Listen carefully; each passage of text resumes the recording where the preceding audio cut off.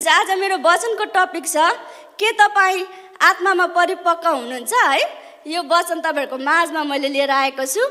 अनि मैले अर्कै नै वचन पास्टर पास्टर बाबालाई त्यो वचन दिँदै भन् बोल्नुको निम्ति भार दिँदै गर्दाखेरि मैले अर्कै वचन तयारी गरिरहेको थिएँ तर सुरुको दिनमा म जब पनि हामी यहाँ भेला भयौँ त्यो दिनमा चाहिँ मैले प्रार्थना आराधना हुँदै गर्दाखेरि सुरुको प्रार्थना हुँदै गर्दा मलाई यो वचनमा है पवित्र आत्माले यो एउटा हुन्छ नि टपिक मलाई दिनुभयो। अनि मैले यही ब यही टपिकमै रहेर तपाईँहरूको माझमा मैले बोल्ने निर्णय गरेको छु। अनि आज है हाम्रो जीवनमा है परिपक्व चाहिँ कसरी आउँदछ है हामी हामी आफ्नो हामी आफूले आफूलाई म कतिको परिपक्व छु भन्ने कुराहरू के तपाईँले जान्नुभएको छ है? आजको दिनमा अनि हामी विश्वासी भएको कति कति वर्ष भयो है अनि तर पनि आज हामी त्यो तपाईँ कतिको वर्ष तपाईँ विश्वासी हुनुभयो तपाईँ कति वर्ष हुनुभयो तपाईँलाई है प्रभुलाई चिनेको भन्ने कुरालाई तपाईँ म आफू क्या आफूले आफूलाई कतिको परिपक्व छु भन्ने कुरा थाहै हुँदैन। तर है यहाँ आज हामी पाउँदछौँ। लुका छको फोर्टी सेभेनमा तपाईँले निकाल्न सक्नुहुन्छ।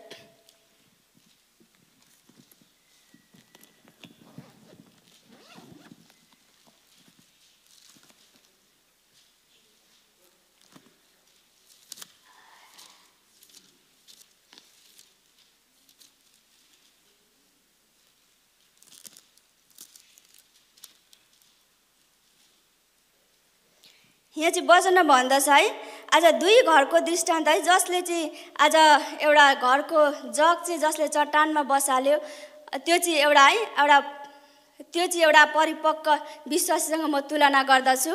अनि जसले चाहिँ अनि एउटा जग चाहिँ बाल्लामाथि बसाल्यो त्यो चाहिँ म एउटा भनौँ न कलिलो विश्वासी जसमा चाहिँ परीक्षाहरू आउँदछ दुःख कष्टहरू आउँदछ अनि त्यो ढलिहाल्दछ।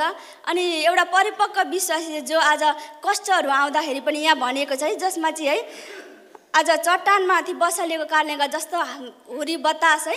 जस्तो सुकै आज दुःख र कष्ट आए तापनि नढल्ने आज त्यो खालको किसिमको एउटा उदाहरण दिएको छ यहाँनिर। आज त्यो दृष्टान्त हामी पाउन सक्छौँ। अनि तपाईँको जीवनमा तपाईँले चाहिँ है आज थाहै पाउनुहुन्न। तपाईँ कति वर्षको विश्वासी हुनुभयो? यदि तपाईँमा दुःख कष्ट है तपाईँमा एउटा परीक्षाहरू तपाईँको जीवनमा जबसम्म आउँदैन तपाईँलाई थाहै हुँदैन कि म कतिको परिपक्व छु भन्ने कुरा। अनि हामी जब पनि त्यो कष्टमा भएर जान्छौँ परमेश्वरले हामीलाई जुन कुराहरू है हाम्रो जीवनमा दिनुहुन्छ त्यो कुराद्वारा आफूले आफूलाई थाहा हुँदछ कि आज म चाहिँ यत्तिको परिपक्व रहेछु परमेश्वरमा। उहाँको विश्वासमा म यति साह्रो परिपक्व रहेछु भन्ने कुरा है हामीलाई थाहा हुँदछ। अनि यहाँ एउटा बालुवामाथि बनाउने घरको आज उदाहरण पनि दिएको छ। बालुवामाथि नि घर त बनाएकै हो है पास्टर बिनाले एकचोटि बोल्नुभएको यो वचन। त्यो घरमा के के त्यो घरभित्र के के सजाएको होला है त्यो त्यो सजाएको कुराहरू आज बलुवामाथि बनाउने मान्छेले बनाउने घर पनि घरै बनाएको है। उसले पनि परमेश्वरमा विश्वासै राखेको। तर कस्तोमा राख्यो भने चाहिँ बालुवा माथि है। बालुवा माथि त्यो असल कुरा है परमेश्वरले आज हामीलाई चङ्गाई गर्नुहुन्छ। उहाँले हामीलाई आशिष दिनुहुन्छ। उहाँले आज हामीलाई हरेक कुरामा हामीलाई साँच्ची नै उहाँले एकदमै फल्दो फुल्दो गरेर आज हामीलाई बढाउनुहुन्छ भन्ने कुरा मात्रै त्यो मान्छेले विश्वास राखेको हुन्छ। तर उसलाई त्यो गहिरो कुरा थाहै हुँदैन है। त्यो जति दुःख अनि कष्ट आए तापनि आउने कुराहरू उसलाई थाहै हुँदैन अनि जब अलिकति दुःख र कष्ट आउँछ त्यो मान्छे ढलिहाल्छ। तर जसले चट्टानमाथि घर बनाए त्यो मान्छे चाहिँ सधैँ है परिपक्व जस्तै यहाँ यहाँ यस्तो भनिएको छ कि है? मैले भनेको कुरा म तपाईँहरूलाई फोर्टी सेभेनमा बताउनेछु फोर्टी सेभेनदेखि पढ्नेछु जो म कहाँ आउँछ मेरा वचन सुन्छ र ती अनुसार गर्छ त्यो कस्तो मानिस हो म तिनी तिमीहरूलाई बताउनेछु त्यो एकजना घर बनाउने मानिस जस्तो हो जसले गहिरो खनेर चट्टानमाथि घर बसाल्यो। अनि जब जब अनि जब भल चल्यो र जल प्रलय प्रवाह उर्लिएर आए आएर त्यस घरमा ठोकियो तर त्यस घरलाई हल्लाउन सकेन किनकि त्यो पक्का बनाएको थियो। हाल लुया जल प्रलय आयो भनेको छ है। कस्तो होला त्यो भनेको त एकदमै ठुलो समस्या। आज हाम्रो जीवनमा आए तापनि हामी नलड्ने छौँ भने चाहिँ परमेश्वरमा परिपक्वता हाल लुया हुन्छ तपाईँहरूको माझमा है आज म एउटा उदाहरण दिन चाहन्छु। हामीले सुनिरहेको वचन है म तपाईँहरूलाई इजरायलीहरूको जीवनद्वारा आज उनीहरू जब परमेश्वरले मिश्रबाट इजरायलीहरूलाई आज छुटकारा दिनुभन्दा अगाडि परमेश्वरले चाहिँ आज उनीहरूलाई दसवटा चिन्ह देखाउनु भएको थियो है।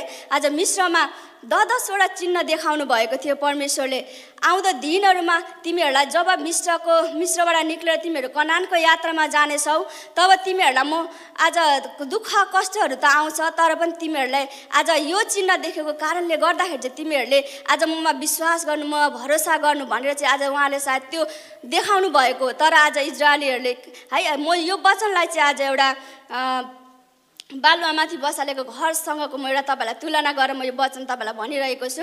आज इजरायलले त्यत्रो कुराहरू जान्दा जान्दै पनि आज जब है परमेश्वरले दसवटा विपत्ति है आज मिश्रीहरूलाई ल्याएर परमेश्वरले इजरायलीहरूलाई आज त्यो दसवटा विपत्तिहरू आउँदाखेरि आज मिश्रीहरूलाई केही इजरायलीहरूलाई केही पनि एउटा केही पनि छुएन भन्छ है। तर पनि आज परमेश्वरले जब आज त्यो ठाउँबाट निकालेर ल्याउनु भयो अनि अलिकति पर पुग्दै गर्दाखेरि उनीहरूले गनगन आएको छ है। आज गनगन आज मान्छेको जीवनमा चाहिँ सबैभन्दा ठुलो कुरा है एउटा अरू प अपरिपक्व विश्वासीको चिन्ह चाहिँ एउटा गनगन हो है।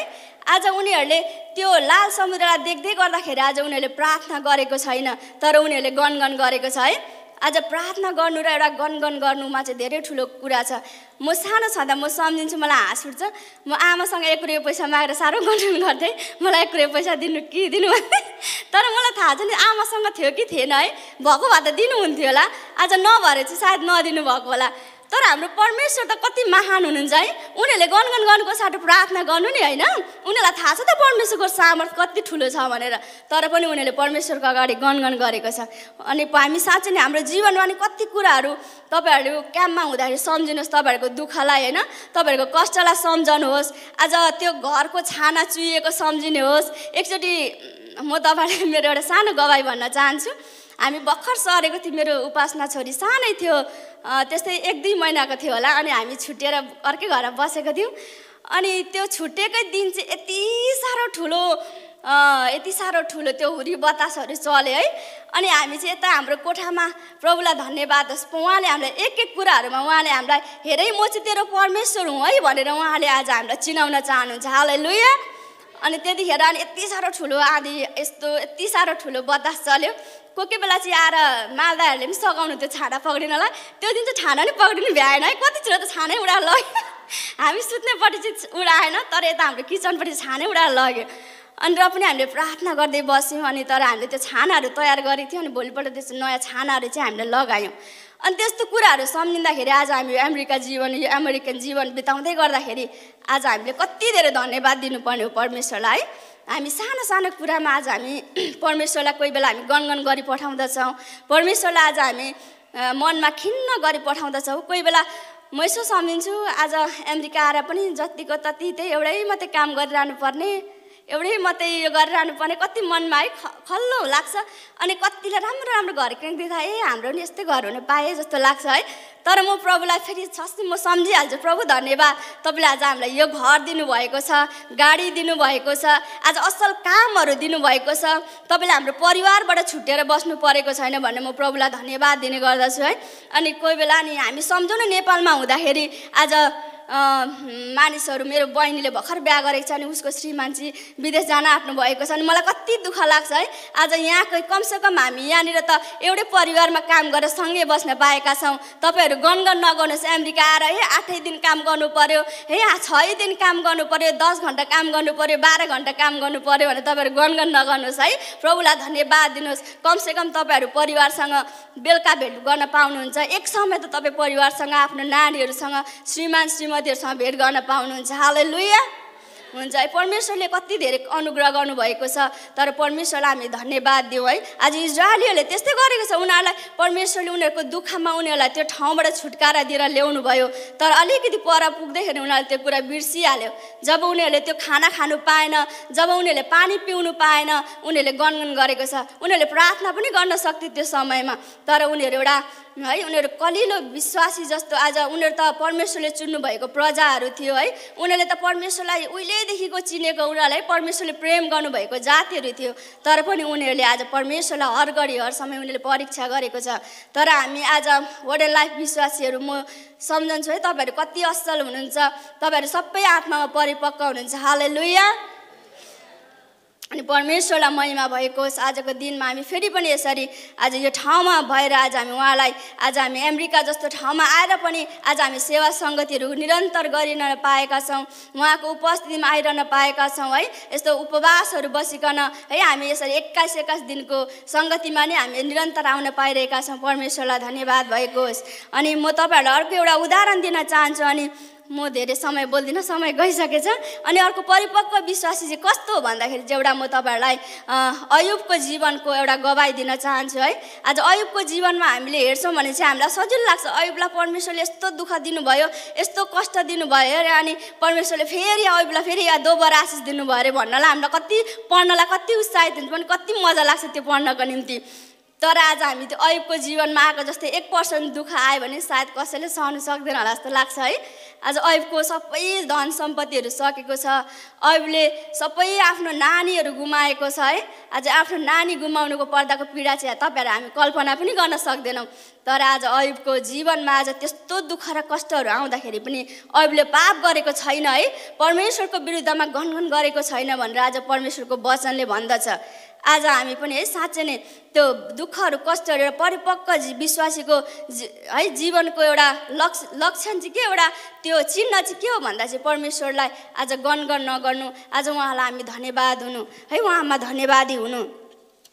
आज हामीलाई परमेश्वरको आज अनि तपाईँहरूको माझमा मैले के के लिएर ल्याएको थिएँ तर मैले हेर्नु पाएन। अनि यहाँ है परमेश्वरमा आज हामी भरोसा राख्नु आज हाम्रो जीवनमा चाहिँ हामी सधैँ परमेश्वरलाई भरोसा राख्नु चाहिँ एउटा पर आज है आज हामी परिपक्व विश्वासीको एउटा त्यो चिन्ह हुन्छ। अनि परमेश्वरमा सधैँ धन्यवादी भइराख्नु एउटा त्यो है त्यो चिन्ह आज परमेश्वरको आज त्यो चिन्ह चाहिँ आज हाम्रो जीवनमा त्यो जब हामी परमेश्वरलाई धन्यवाद दिन थाल्छौँ जब हामी उहाँमा भरोसा गर्न थाल्छौँ है त्यो चाहिँ आफूले आफूलाई तपाईँले जाँच्नुहोस् है।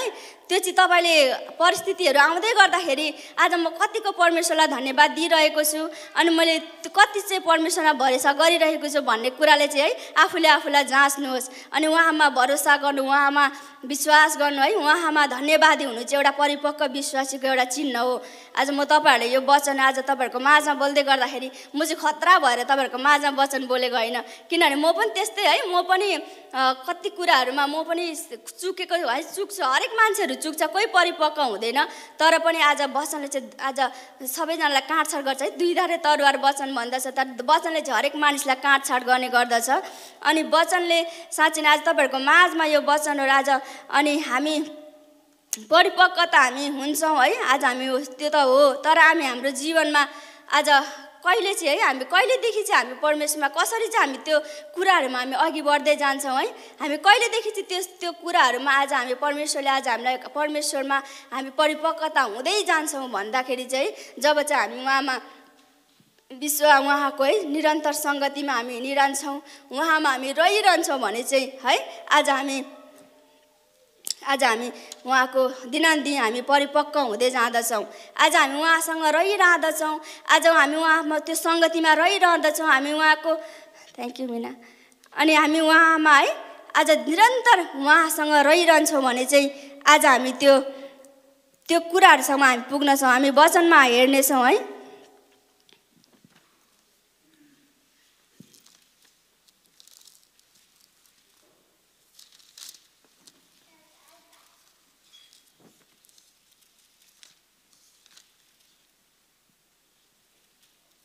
यो यहुन्ना तपाईँहरूले पन्ध्रको पन्ध्रको चारदेखि तपाईँहरूले हेर्न सक हेर्न सक्नुहुन्छ। वचनमा यसरी भन्दछ है आज परमेश्वरमा रहने मान्छेहरू चाहिँ एउटा परिपक्व मान्छेको म तपाईँहरूको उदाहरण पनि दिन चाहन्छु। पवित्र आत्माको फल है।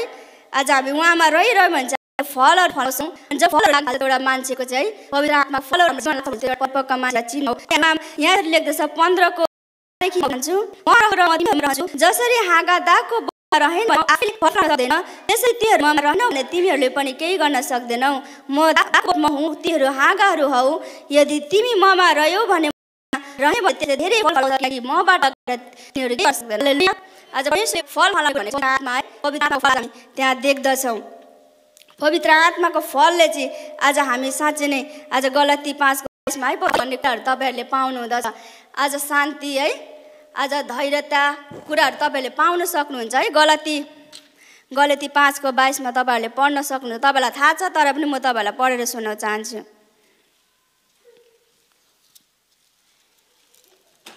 गलती पाँचको बाइसमा है तर पवित्र आत्माको फल चाहिँ प्रेम आनन्द शान्ति धैर्य दया भलाइ विश्वासता नम्रता स्वयं हुन्। हाले लुया है पवित्र आत्माको फलहरू जब हामी उहाँको उपस्थितिमा निरन्तर आइरहँदछौँ हामी सङ्गति आइरहँदछौँ प्रार्थनाहरू हामी गरिरहँदछौँ है आज उपवासहरू बसिरहँदछौँ भने चाहिँ आज हामी दिनानुदिन परमेश्वरमा है अघि बढ्न सक्छौँ उहाँको परिपक्वतामा भएर आज हामी रहँदछौँ। आज हामी सङ्गति नै हिँड्दैनौँ अनि हामी उहाँको उपस्थितिमा नै आउँदैनौँ अनि उहाँलाई हामी है उहाँको नजिकै हामी आउँदैनौँ भने चाहिँ तपाईँहरू जतिसुकै जतिसुकै तपाईँ बिस वर्ष पच्चिस वर्षको विश्वासीहरू हुनुहोस् तर तपाईँहरूमा त्यो फल छैन भने चाहिँ तपाईँ परिपक्वता हुनुहुन्न। तर तपाईँहरू परमेश्वरको उपस्थितिमा आइरहनु भयो भने चाहिँ तपाईँहरू दिनानुदिन तपाईँहरूले त्यो कुराहरू महसुस गर्दै जानुहुन्छ।